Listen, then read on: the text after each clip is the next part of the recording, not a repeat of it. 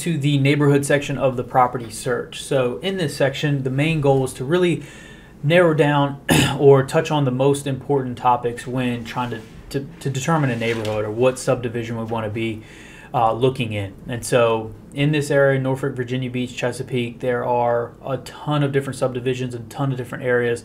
Um, but some of the things to look for is really where are you at in your life? Um, are we looking to, to grow a family? Are we looking to downsize?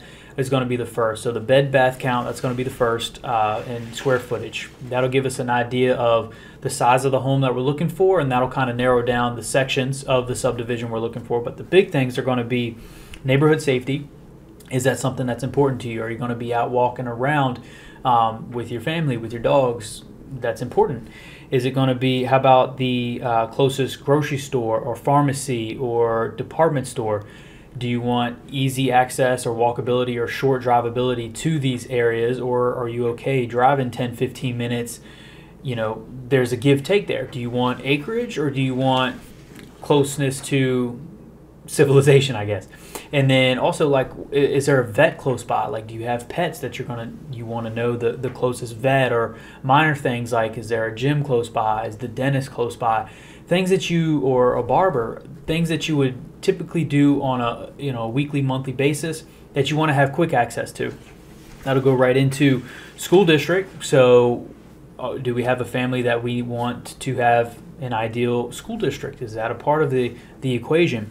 Do we need to know nearby parks? Do we like to go on walks, be out in nature? Do we have dogs? Do we need to be near a dog park or um, walking paths?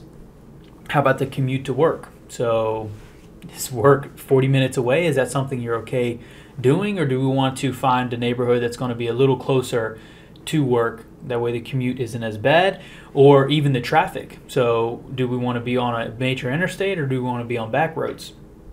Also, the types of res- restaurants, and then ultimately the resale value, because we don't want to buy or purchase a property that, you know, maybe in 10 years we could potentially sell, but we're in an area that is shrinking. So, if we're not in an area of growth or maintenance, then that property probably won't appreciate as much as we want. And so we, those are things that we want to bring into account. If we know the subdivision we want to be in, maybe we can lean in a little closer to a, a micro area that's going to be a little more developed or being in the development phase. That way, in five, ten years, your home would have a, a, very healthy level of appreciation when you go to sell it.